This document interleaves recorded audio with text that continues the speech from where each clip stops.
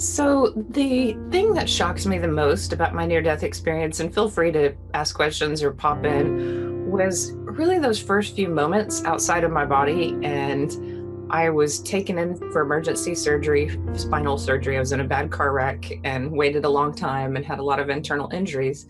And sometime during the surgery, my back was already open, my hip was open because they were taking blood from that area. I popped out of my body somewhat to the right, and I could see the whole room, the doctor's heads, and my body on the table. And I was excited for some reason. I was just amazed that my consciousness felt so intact and so whole. And I knew immediately that this was not a dream, this was not a hallucination. And so everything that everyone throws at me, I'm like, in those first few moments, I knew this was a reality because I was seeing the room, I was listening to the radio, I was watching what the doctors are doing. And then on top of it, there were these amazing angels in the room that were about nine feet tall. And I had, yeah, I'd read the Bible and grown up in a Christian home, but I had no concept for large light beings that were so intelligent and communicated at this fast rate and gave me so much information. So those that moment became the title of my book, Angels in the OR, because I was so shocked by those angels that blew me away. And that was just the very first moment. And I wasn't technically dead, I guess. that would be an out of body experience at that point because the angels began working on me and my spirit. They were sending light through the back of the doctors and into my body on the table. And then my heart flatlined. And when I knew that sound, that beeping sound, I knew I was dead and I didn't want to watch them revive me. And the spirit form can just go through walls. So I went through walls and I ended up in the hallway. My stepdad was getting a candy bar. Later, I verified that he indeed got that exact candy bar. So my near death experience has been studied a lot because of that verifiable detail. Yeah. And then, you don't often see small details like that. Yeah, and in the moment I wondered why did I see it, and now I know that I'm I was an agnostic. I'm such a skeptic, and I knew that I was surrounded by skeptics, so I think I was given that moment just to have that moment, you know, right. to have a verifiable fact. And so, do you, do you think you were kind of um, pushed off in that direction towards your dad? I think so because I spent some time looking at him, you know, almost the way a ghost would look at someone. I looked at him and I thought, I don't know him that well. My mom had just married him, and I thought, oh, I hope he's good to her if I'm I'm dead, and hope they have a good life. And you know, I just kind of considered him for a moment because I'd met him once or twice at that point, and I think I think I was meant to, and I didn't understand why at the time, but I felt like God was with me, and from a faraway point at that point, almost like a thread. And then as I left the hospital and I began to feel this oneness with other people, I felt even closer to God. And then as I did the life review, God was definitely there. And when I say God, I just mean this higher intelligence that yeah. was like a you light. have to put a label on it somewhere, and it's difficult. Yeah. Most it people is. do default to God or Source or something like that. They mean the same thing. Yeah, yeah, but it was just an intelligent light source that was streaming towards me and uh, comforting, and I, I had no fear, and I knew that I was fine. You know, I was connected to this source, and I, I learned lessons in the life review, and then I Uh, really about being non-judgmental. And what was so powerful about the near-death experience is certain moments would slow down. So i would hear words like love is all that matters. And that was somewhere in in that life review or before it or after it. And and that statement love is all that matters it, it was meant to like go deep inside of me. And i was meant to hold on to this and meant to bring this back. So i think in that realm that timeless realm sometimes we're given a lot of information and it's hard to hold on to it all but some things like that are just timeless wisdom yeah you know? given more energy than than the others yeah, and remind yeah. them to go to nature was another one of my messages and be like a little child. So those were my three messages and of course that third one is somewhat reminiscent of Jesus and biblical and and that was a those three statements were incredibly comforting and ones I would ponder over for many years later of how to how to incorporate that into my life and help other people incorporate it into their lives and the biggest question and I'm sure you've encountered this if you've been on discussion boards, people always say, well, love, well, I'm not loved. Nobody loves me. Yeah. like, yeah. and I'm like, no, no, no, it's about you just being love, you know, like loving your cup of coffee, loving the squirrel mm. out on the tree, loving the tree, loving yourself. And, and I think from what I gather, it's it's a different kind of definition of love to what we we used to experience. It's kind of beyond our current experience of what we define as love.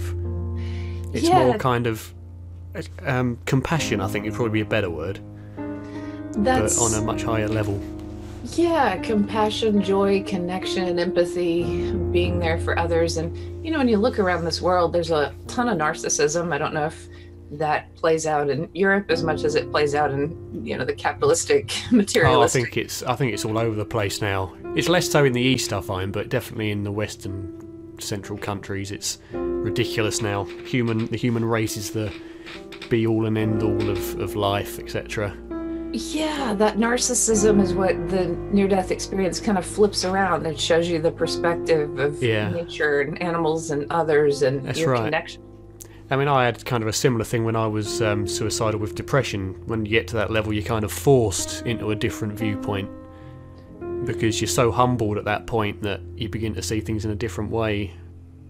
Yeah, so that's Oh, I kind of want to come back to that or either talk about that because yeah, that's sure. part of my story too. Um, I don't know if, if you know that, but I tried to commit suicide about six months before mm-hmm. my near death experience. And for you, uh, did you did you have a spiritual awakening because of it, or?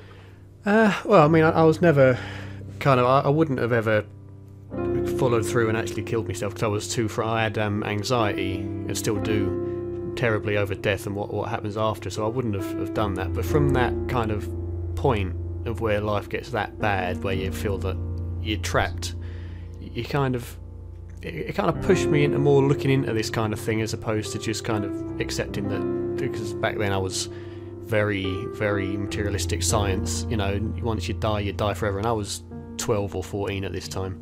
Uh, in fact when did I have my breakdown? When I was 16 but I'd had it for a while before then the anxiety and uh, kind of that breakdown pushed me towards kind of looking more into it as opposed to just accepting what I didn't know, which is why I'm why I'm here. That wasn't such as a spiritual awakening; it was just more a shift in in lifestyle, I suppose, or viewpoint. Yeah, and that is a shift in energy. Like, if there's one message I try to get to kids that age when I work with them, is try something different in that moment. You know, go outside and sit under a tree and just like breathe in that tree, or uh, try to do one thing. Like when when you're depressed and highly anxious and in one of those negative states, and I, I suffer with that too. You can't just switch and be happy. It's almost toxic joy if someone comes up to you and says, "Oh, oh just be happy." It's, it's awful. it really is, yeah. And it's something you can't describe to people, isn't it? So you, what you can do though is reach for the next better feeling so if you're if you're just miserable and horribly sad you can reach for one thing you know a netflix show or a piece mm. of hmm. pie or you know just a walk or something that's going to make you feel just a tad bit better if you can reach for just a tad bit better then you kind of walk yourself back out of it and mm. walk hmm. yourself into it and young people sometimes don't have that skill but as you get older you know okay. yeah, mis- yeah. I'm miserable right now, but I'm going to walk myself out of it. But I keep throwing it out there that that there's got to be quicker healing too, because that power of God in my near death experience, which I eventually ended up near, I, I do this exercise where I try to bring that power of God into those moments. Sometimes I've shifted them automatically. So mm. it, it, happens really well in, in nature sometimes but say i'm just like really upset with the situation i go and i pray and i feel that love of god just filter fully like an energy into every bit of my body and literally pick up that whatever it is just like a ball of negative energy move it aside and then then it's like it's not even there hmm. I think it's, it's a difficult thing because you know when, when you have an experience such as such as yours, I think whether it kind of opens your brain up more to be able to um, receive this this kind of stuff. But to most people, I think it's that that kind of experience is just kind of one phase out of their experience, and it takes an experience like yours to be able to just kind of shift into that level of awareness. I think so, but that's why I'm trying to get younger people to try some energy workers and to try mm. some modalities because maybe they can be shifted and yeah, that's going to be a huge push for me. I, I recently had a brain spotting uh, episode or brain spotting um, session, and it's mm-hmm. amazing. It's much like uh, rapid eye release EMDR, where they work with trauma and they take you back to one moment and then kind of release that trauma. And they do it with athletes right. or anyone who's suffered any kind of trauma. But it kind of worked. like a sort of hypnotherapy kind of thing. Yeah, and I think young people might think, "Oh, I'm just got to go to therapy or medication and these traditional routes." And yeah. it's generally the older crowd that's trying these spiritual things. But I've found much greater healing with some things like Psych-K and past life regressions and regressions and mm. EMDR and all kind of spiritual techniques, even Reiki when the Reiki worker is really good. That I want younger people to maybe try something that's even a little science based, like the the that's rapid right. eye release. I think the difficult thing is trying to push through these kind of predetermined understandings or beliefs about what's real and what's not. Because a lot of this thing, a lot of these things, I think, is down to if you're open-minded enough, it will be more effective than if you're just closed-minded, which will then kind of concrete further your belief that it's nonsense. I mean, I went to I went to a Reiki session for the first time with a, a woman called Christina Ash, Christina Ashton, who's been doing it a while, and I, I was very skeptical about this sort of stuff, energy stuff. I suppose being of a scientific background, but what really kind of made me think about it was the amount of heat that Christina's hands were generating, and you could feel it with with your eyes shut. You could tell where where her hands were. It was like she was kind of acting as a radiator. It was a completely unnatural amount of heat, and it makes you. It, it really has to make you start wondering how that's possible. And I suppose it's just getting over that and we already know how all this works nonsense. Yeah, and then you don't have to know how it's all working out too.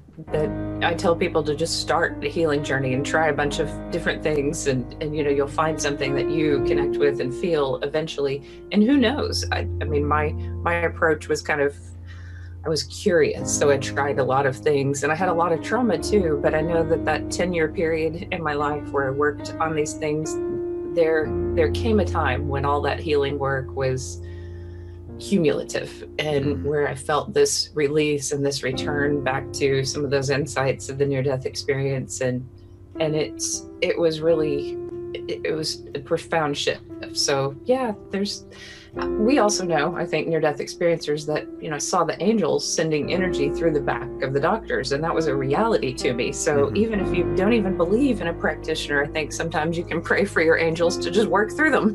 hmm. I think, as well, kind of um, from what I've seen, a lot of people will dismiss this kind of experience because it's always slightly different to each person and therefore it's hallucination. But I think the way I look at that is it's more kind of an experience which is objectively real but is tailored more to your personality, so it will differ slightly.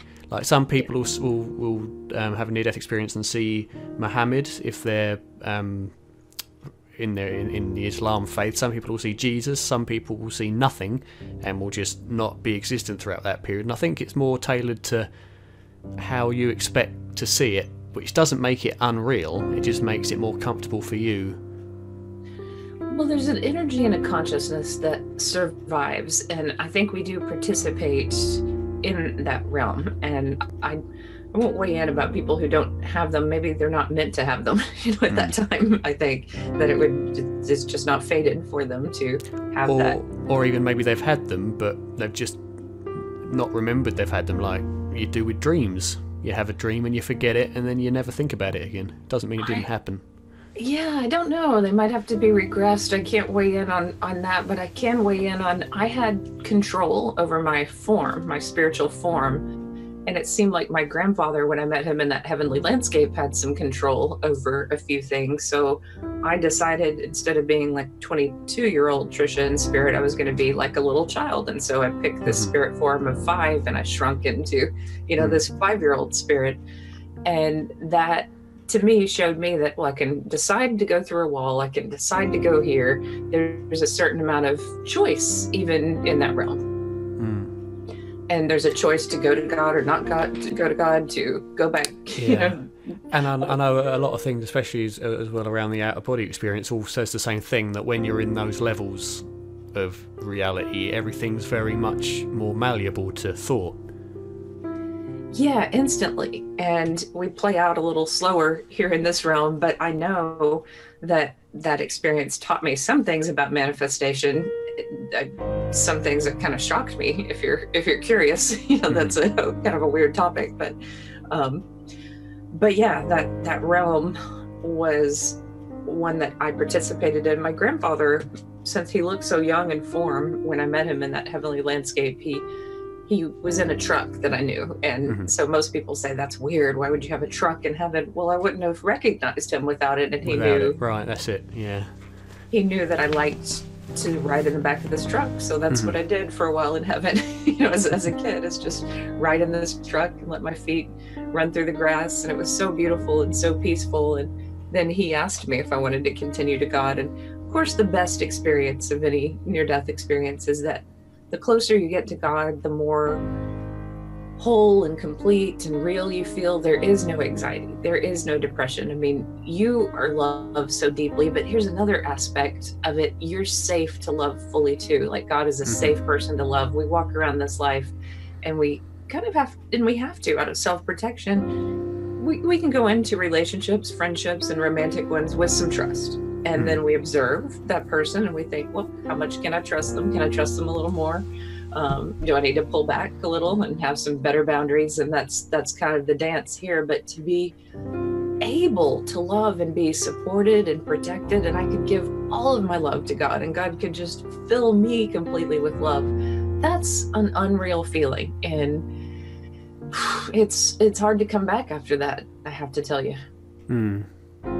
Uh, I'm sure it kind of makes you feel somewhat homesick or, or very trapped. I mean, that's that's how I felt when I started looking and finding that there's probably more to to life and much more freedom than, than the human experience. You feel very trapped.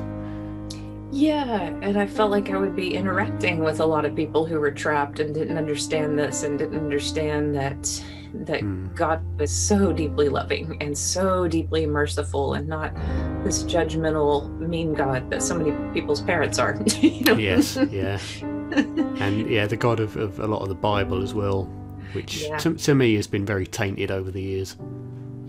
Yeah, I think it was Mary Neal who said something interesting. Who was who said people ask her about the Bible a lot, and she said, "Well, imagine if something was translated from Spanish, you know, great wisdom from hmm. thousands of years ago. Would you follow it literally?" yeah, exactly. Yeah, I mean, and and this is years and years and years and years ago when people probably weren't as mentally or intelligently evolved as we are. So how can we take their literal translations as as truth. You know, they wouldn't have had the means and methods that we do now, even, which is still very much inaccurate to a lot of des- descriptions. Yeah, we can take the heart of it, the truths, the spiritual truths, the mm. kind of like the near death experience gives those moments like be like a little child. Love is all that matters. That's just an essence of a spiritual truth. You know, there's there's logic, there's fact, and then there's this higher realm which is just essential truth. Mm. And I think when you're looking for essential truths, that they're simple. Mm. And it's something that can only be experienced, not worked out, isn't it? Yeah, and worked out over time sometimes that I it took these lessons a long time to work themselves out in my life.